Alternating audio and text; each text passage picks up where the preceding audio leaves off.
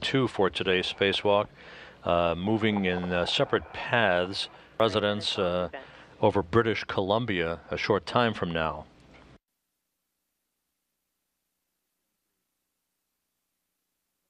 Views from the International Space Station as long as the uh, station's in satellite communication. Okay, that sounds great for both of you. We want you to just hang out here for a bit. You can. Yeah, that'd be great. Okay.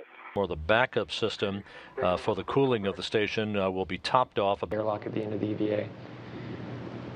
Uh, now both crew members will meet up at